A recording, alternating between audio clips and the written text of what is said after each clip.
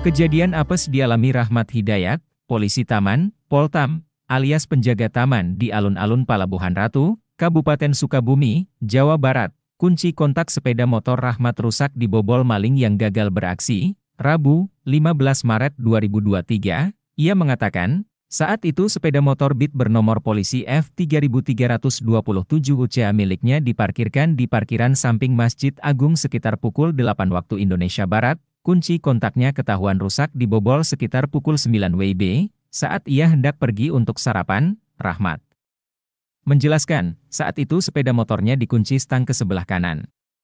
Akibat dibobol, saat ini sepeda motornya tidak bisa dihidupkan karena kunci kontak dalam keadaan rusak.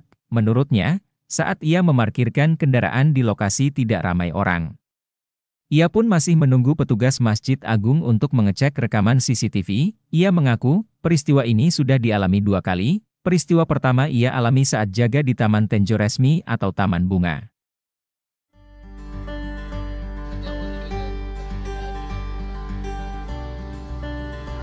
Terima kasih sudah nonton.